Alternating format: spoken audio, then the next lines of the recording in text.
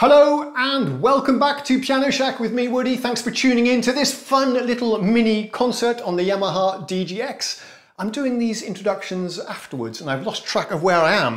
Okay, here's actually one of my favourite songs, which works really well with this groovy pop soul style. Take a listen. Let's give it our best shot.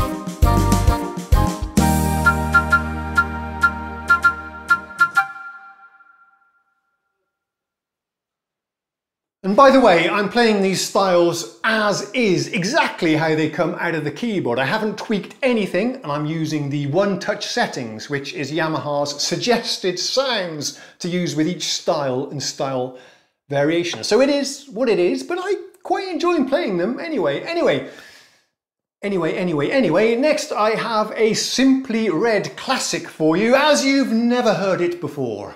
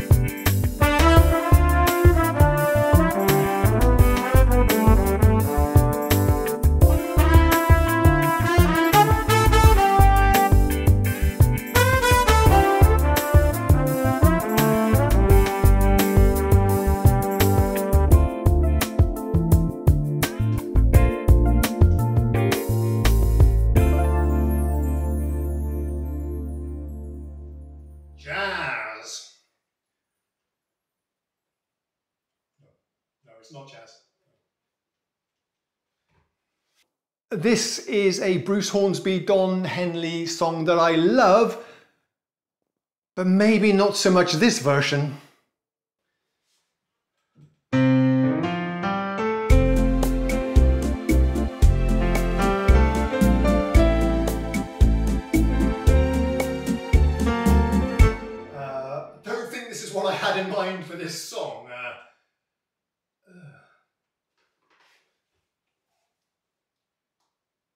Okay, well, uh, let's try it anyway.